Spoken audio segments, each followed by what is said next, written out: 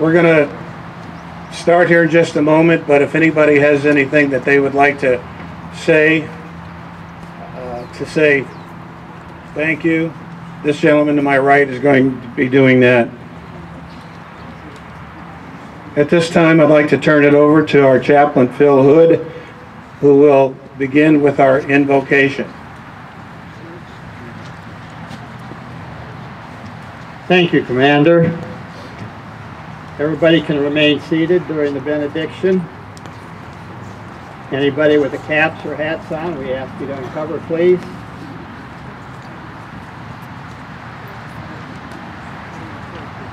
I'm going to start, I think it would be a good idea, maybe take uh, 30, 45 seconds for each and every one. You might have a prayer you want to enter in behalf of somebody in your family, somebody that you have lost, and you want to personally talk to them. So I'll give you that opportunity now, and then we will proceed with the prayer.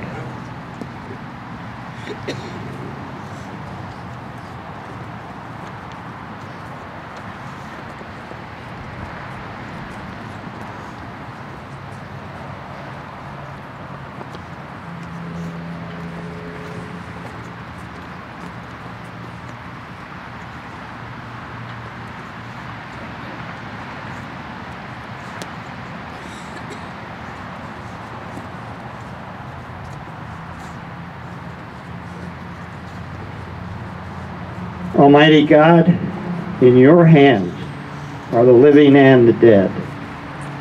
We give you thanks for all those, our comrades, who have laid down their lives in the service of our country. May they rest in peace, and may light perpetual shine upon them. May the good work of seeking justice for the oppressed and peace for all mankind be rewarded with success, that their sacrifices shall not have been in vain. And may we never fail to re remember the awesome cost of the, the freedom that we have received and that we enjoy. We ask also that you watch over the veterans of this land, inspiring them to serve you and this country in never new and creative ways. Comfort our ill and wounded, our comrades who languish in hospitals or homes. Lighten their burden, Father. Relieve their suffering and pain, and restore to them the blessings of health again. Grant them your peace. May light perpetual shine upon them May the good work which you have begun with them be brought to perfection, that this land may prosper, and that there may be lasting peace throughout the world. All this we ask of you, Almighty Creator, in your name and in his love. Amen.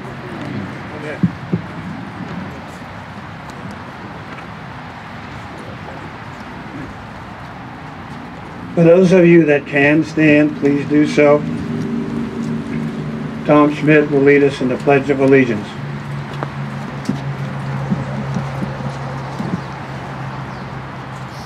I pledge allegiance to the flag of the United States of America and to the republic for which it stands, one nation under God, indivisible, with liberty and justice for all. Governor.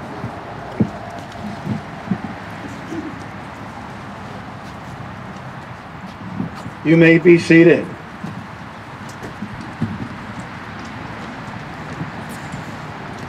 For those of you that have a chair, you may be seated. Just when I thought I knew what I was doing. Welcome to Memorial Day celebration. Initially, the Post decided we're going to have a wreath laying celebration to commemorate this day. I didn't expect to have, as I said, as many folks here. I'm glad to see you. Memorial Day is celebrated on the last Monday in May, as you know. It is more somber than the Veterans Day celebration. This day is set aside to remember those who gave their lives in the defense of our nation during its wars. Memorial Day predates Veterans Day and was first celebrated in 1868 and originally was called Decoration Day.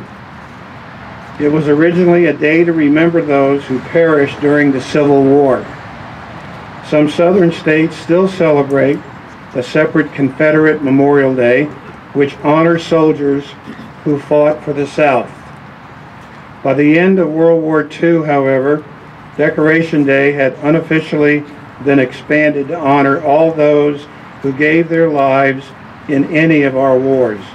The name was officially changed to Memorial Day in 1967. There are a lot of celebrations done throughout the country and in some military bases abroad. The biggest or the largest, I should say, is Arlington National Cemetery.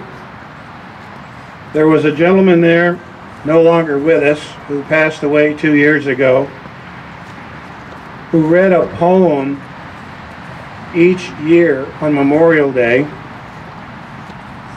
And I'd like to read that poem to you today. and that gentleman's name was Manuel Roybal Jr., and the name of his poem was Forget Me Not. Forget me not as I lay here in eternal sleep. The price I paid for freedom was very hard and steep. We left our sweethearts left our wives, our homes and families. We gave our all on foreign soil for this thing called liberty.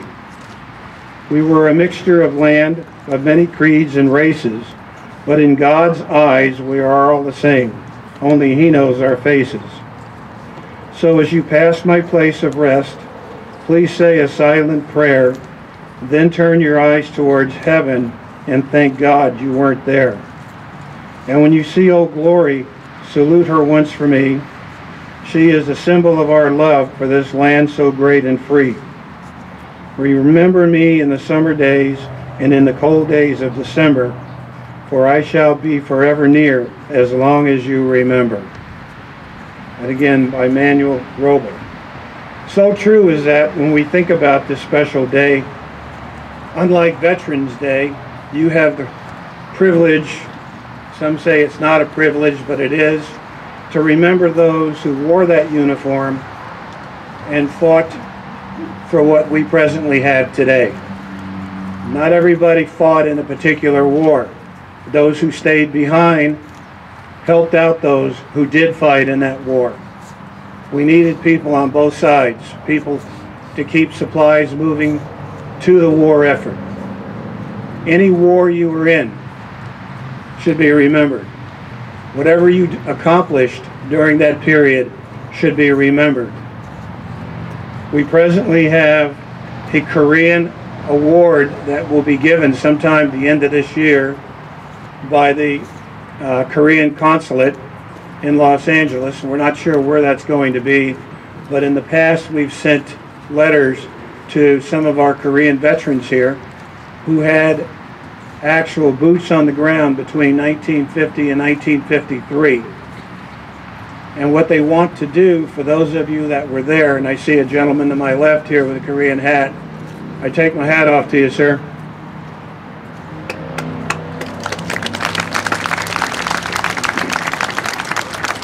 There's not many of those folks left. A few of those letters came back to us unanswered or unopened, returned to sender, and I found out later on that they were not with us any longer to answer those letters. So we want to remember them. We want to remember the ones who fought in the Civil War, not that any of us was there. Wait a minute. Okay. He wasn't there either. World War One, World War Two, Korean War, Vietnam War, the wars that we fight today the dusty sands in Afghanistan, Iraq, We have one gentleman here today that I know of that was in Iraq for a couple of months. He's back there with a black hat on that says Chief. These folks know what we're talking about. Those of you that were in the military and have not signed up yet for the American Legion, we have our sign up person over in the back named Lee We'll be glad to sign you up. Um, Memorial Day again is something that needs to be remembered by all. How many times you walk by an American flag and somebody looks at it, it's tattered, it's torn, and they say nothing. They just leave it alone. They don't worry about it. How many of you here have actually taken your tattered and worn flags and brought them to one of the Legion people for to, uh, discard or to be burned properly? How many of you done that? Raise your hand. Several of you out here, and I thank you for that. How many of you have seen flags in the trash? Do they belong in the trash? Absolutely not. If you see it in the trash, pick it up if you can. Use a plastic baggie, whatever. These flags need to be uh, destroyed correctly. And we have a deal. In fact, the gentleman behind me is the person who takes the flags to Los Alamitos Joint Forces Base, and they have a ceremony there at least once, sometimes twice a year, that the Boy Scouts contribute by doing a celebration for us and burning the flags. So anytime you see a tattered flag, let somebody know. The other thing is, uh, as an announcement, I just found out two days ago that we're going to be having a flag drop box now officially here in Leisure World. Uh, we've been working with the Recreation Department, and they have several of the older white boxes that you used to put your monthly assessment deposits in that's going to be donated to us. We're going to be painting those or having those painted, again another donation, and we're ordering American Legion decals or, or uh, logos to be placed on those boxes or that box and hopefully it's going to be mounted somewhere to my left. And when I say mounted, I'm talking about bolted into the ground so somebody can't steal it. So in the future, when you do have a flag that needs to be turned in, hopefully we'll let you know when that happens. You'll be able to drive by here, walk by, crawl by, roll by, whatever you feel like doing, and throw that flag in the box for us. It's something that we need to do. Somebody asked me this past month what the wreath that we are going to place in just a moment symbolizes. It actually, and you can look this up on Google if you're still on Google, and you'll see several reasons for a wreath. The biggest reason, or the best excuse I can say for a wreath, is honoring and remembering all those who have worn the uniform and fallen for this country. Every flower, every leaf, every twig on a wreath symbolizes the blood, the tears, and the loss given so that the rest of us can live a comfortable life in what we call a free nation, a free country. I often have discussions about the noise we hear from Los Al, helicopters and jets flying over. What is that noise for? Well, I tell them that's a sound of freedom. As far as I'm concerned, if we're unable to defend this country, you probably would not be speaking English right now. And I don't mean that politically, but I mean that practically, or practicality wise. I would not be, I can't speak English now anyway, but I'd be speaking something else even worse.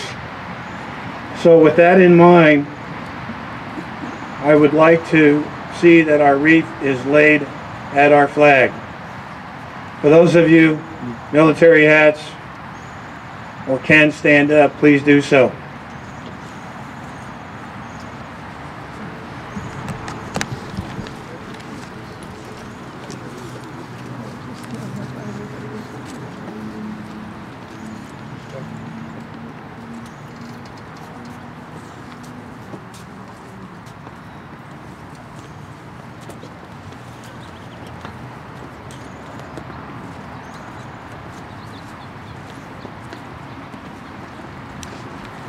And salute.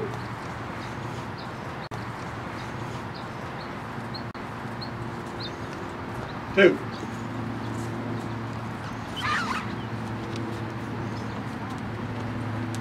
Thank you, gentlemen. That wreath.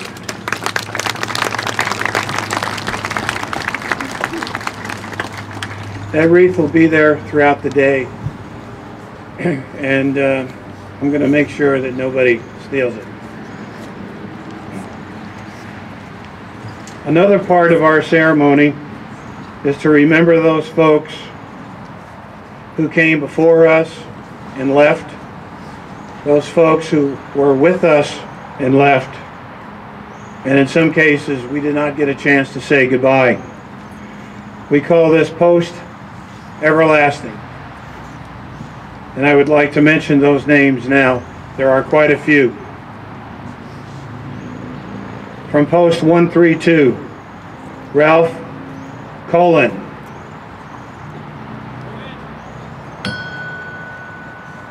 Sal Luan. Antonio Velazquez. Post 227, William Needham.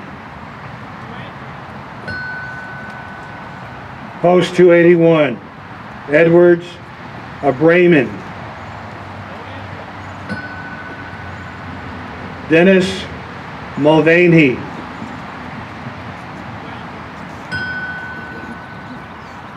Post 354, Robert Perry.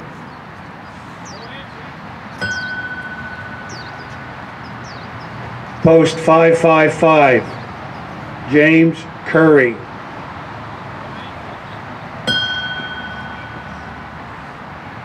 Post 327,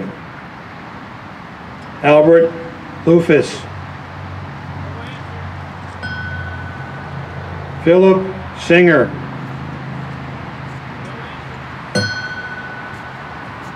Joseph Joe Hammond. R. Davies. Leroy Pass. And our last name on our list is our one and only honorary post member who was installed a year and a half ago, who so many of you know very well and probably miss, and I know we will miss with the upcoming open events. Tommy Williams.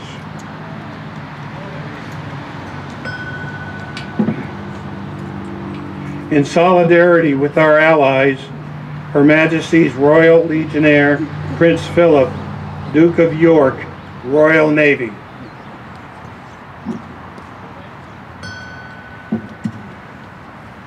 Thank you, ladies and gentlemen. Thank you. Um, someone asked me why Post Everlasting, and this is the final destination within the American Legion where our departed comrades transfer when they are called for duty by the Supreme Commander. We salute our departed post members and thank them for their contribution and service to our country, community, and various other posts.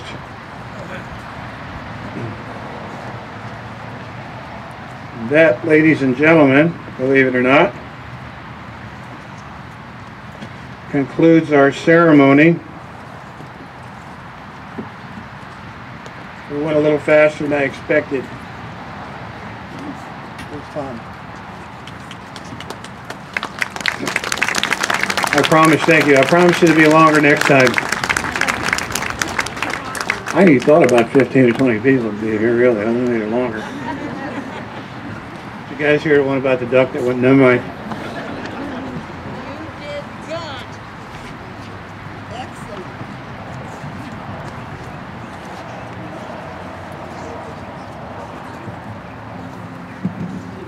Well, Commander, as uh, chaplain, maybe this would be a good time to take up the offering. I think so. I offer hamburgers and hot dogs. You may be seated during the benediction, At the follow, following that, if you would please rise, we will have the playing of taps by Tom Schmitz. O God of people and nations, we pause at the close of this gathering and acknowledge again your sovereignty over our lives and over our country. We remember before you our comrades now departed for this from this life. We honor them for their loyalty to God and to country, for their good deeds and for their friendship. May they rest in peace. May the good works you have begun to, in them be brought to perfection, Father, that our nation may be strong and our people secure and happy. And we ask this all in his name. Amen. Now if you would please rise, and we will have the playing of taps.